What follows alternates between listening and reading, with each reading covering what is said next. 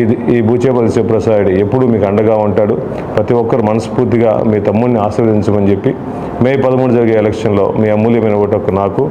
మన ఎంపీ అభ్యర్థి అయిన చేవిరెడ్డి భాస్కర్ రెడ్డి గారికి ఫ్యాన్ గుర్తు మీద ఓట్లు వేసి వేయించి అఖండ మెజార్టీతో గెలిపించవలసింది కోరుకుంటూ ముఖ్యంగా అన్ని గ్రామాలు తిరిగితే స్పందన చాలా బాగుంది సుమారుగా పద్దెనిమిది వేల మెజార్టీతో హండ్రెడ్ పర్సెంట్ మేము దర్శి కాన్స్టిట్యూన్సీ గెలుచుకుంటాము.